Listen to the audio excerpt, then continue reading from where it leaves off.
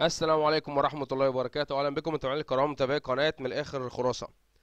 لو أول مرة زر... تزورنا في القناة يا ريت تشترك في القناة وضغط على الزر الأحمر أسفل الفيديو مكتوب عليه اشتراك أو subscribe. اعمل like للفيديو فعل زر الجرس ليصلك كل جديد باستمرار بإذن الله تعالى.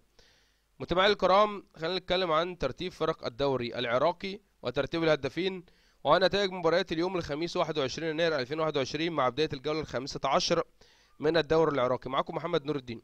بالنسبة لنتائج مباريات اليوم مع بداية الجولة الكرخ فاز على الكهرباء 1-0 الديوانية تعادل أمام زاخو 0-0 أمان بغداد تعادل أمام نفط الوسط 1-1 الميناء فاز على القاسم 2-1 ونفط ميسان تعادل أمام نفط البصرة 1-1 خلينا نتعرف على ترتيب فرق الدوري العراقي وترتيب الهدافين بعد مباريات اليوم الخميس 21 يناير 2021 في صدارة ترتيب جدول الدوري العراقي بعد انتهاء مباريات اليوم مع بداية الجولة الخامسة عشر القوة الجوية في المركز الأول ب 28 نقطة ولسه هتلعب بكرة بإذن الله تعالى. نفط الوسط في المركز الثاني ب 28 نقطة، الشرطة في المركز الثالث ب 27 نقطة، الزوراء في المركز الرابع ب 25 نقطة، النجف في المركز الخامس ب 23 نقطة. زاخو في المركز السادس ب 23 نقطة، نفط ميسان في المركز السابع ب 22 نقطة، النفط في المركز الثامن ب 20 نقطة، أمانة بغداد المركز التاسع ب 20 نقطة، الكهرباء في المركز العاشر ب 18 نقطة.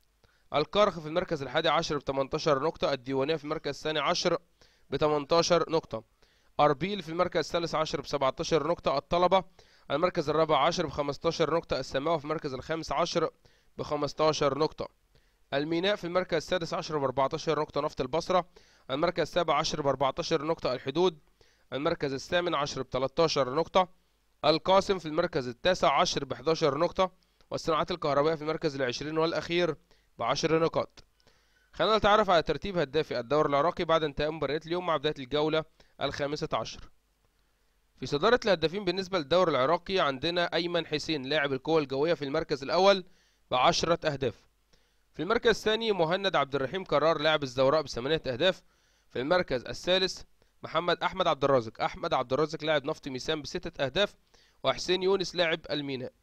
ويوسف موسى عدنان لاعب النفط واللاعب جبار كريم لاعب أمانة بغداد وعمر منصوري لاعب نفط الوسط ومحمد إبراهيم لاعب الكهرباء.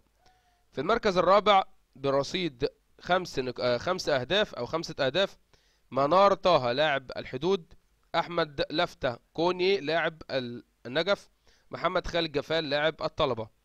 متابعينا الكرام كان معكم محمد نور الدين من قناة من قناة الآخر خلاص. اشترك في القناة فعل زر الجرس اعمل لايك للفيديو نراكم في فيديو آخر بإذن الله تعالى والسلام عليكم ورحمة الله وبركاته.